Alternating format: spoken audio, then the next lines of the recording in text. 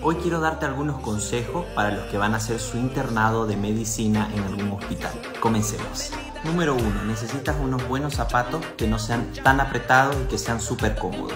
Te recomiendo que puedas usar eh, tenis, es recomendable ya que son cómodos, pero mejor si no son de eh, amarrar ya que lo puedes retirar cuando necesites descansar y que cuando hagas turno o algo busques unos zapatos croc como estos pero que sean mejor cerrados que no estén abiertos ya que eso te va a ayudar a protegerte de cualquier cosa que se pueda caer en la cirugía ¿no? entonces estos eh, con huequitos lo puedes usar tanto para cuando estés haciendo consultas en el, en el consultorio y los cerrados cuando vayas a entrar a quirófano son muy cómodos y eso es el punto número uno como siempre tener como tipo un estuche así donde tienes que tener tu estetoscopio que es muy importante tu termómetro tu eh, para medir la presión arterial ya sea de estos o el otro que tú quieras una linterna que sería para el baja lengua eh, puedes usar también un termómetro para de oído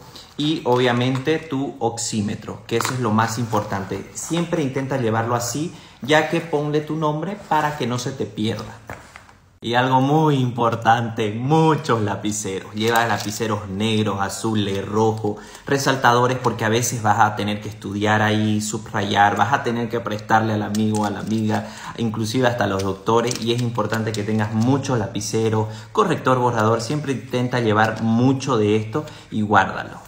Y lo más importante es que siempre tengas tipo así una libreta o así como tú quieras donde tomes apuntes. ¿Por qué te recomiendo una así? Porque cuando tú estés con el doctor a veces él se te le va a ocurrir preguntarte algo o para tú tomar apunte de cómo está tu paciente o a quién tienes que hacerle una evolución.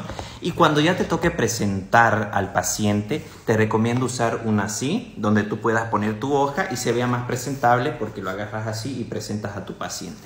Y lo bonito de esto, no sé dónde lo pueden conseguir, es que tú puedes guardar aquí también, puedes guardar tu libreta, pero como te digo, no vas a estar con esto todo el día, entonces yo te recomiendo una libreta donde entre en tu bolsillo y tu lapicero aquí. Esos son unos tips súper importantes para el que va a hacer su internado de medicina en este año.